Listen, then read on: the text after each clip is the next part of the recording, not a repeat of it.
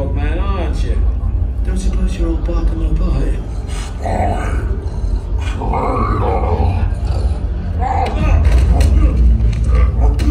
Fight! Back off, dog breath! Ow! So many ows!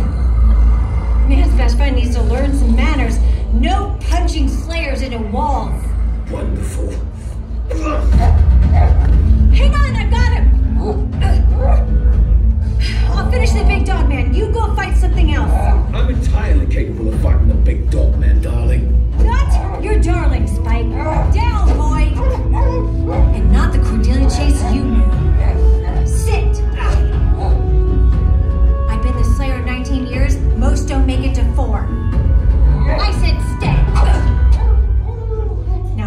Over and play dead.